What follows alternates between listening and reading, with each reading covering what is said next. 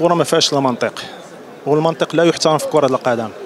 آه، بالفعل ما كناش الأندية المغربية ما كانش في المستوى خارج أرض الوطن ولكن آه، كانت هناك عوامل.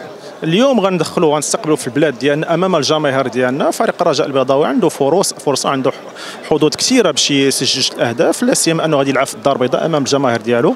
والمطلب ديالي الوحيد هو أنه الجماهير تشجع وتدعم هاد اللاعبين واللاعبين تما يكونوا مركزين في هذه المباراة خاصة العامل الذهني مهم في هذا.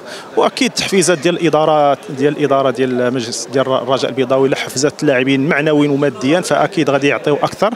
آه الوداد البيضاوي عندها فرصة كبيرة باش تدوز لأنه الخصم ديالها فريق كيلعب كرة وكيلعب كرة وكيخلي المساحات وبالتالي كنعرفوا الوداد الا استغلت هذه المساحات وقامت بحملات مرتدة كالمعتاد فأكيد غادا تسجل.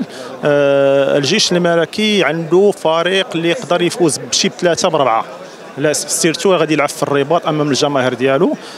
كاين واحد الغياب ديال سليم اللي غيأثر شوية ولكن كاين البديل كاين حمودان كاين النفاتي ف بالتشجيع ديال اللاعبين ديال يعني الجماهير ديالهم والإدارة التقنية فأكيد غادي يحققوا نتائج إيجابية. كنتمنى لهم إن شاء الله التوفيق في هذا يعني الأدوار الإقصائية المهمة خاصة الروتور. عرف بأنه المباراة ديال العودة يعني مع الدعم الجماهيري ومع يعني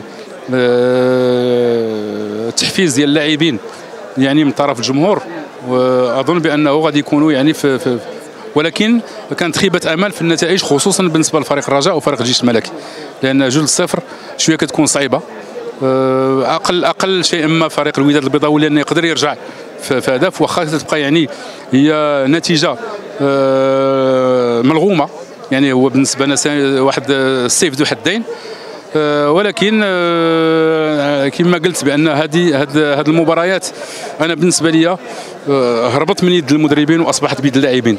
واللاعبين هما هما اللي خصنا يعني نعولوا عليهم أكثر إن شاء الله في هذه المباراة لأنه كل الفرق اللي عندنا عندهم تركيبات بشرية في المستوى العالي. ديروا لايك وبارطاجيو الفيديو وما تنساوش ابوناو ف la chaîne وتضغطوا على الجرس باش توصلوا بكل جديد ديال MFM Sport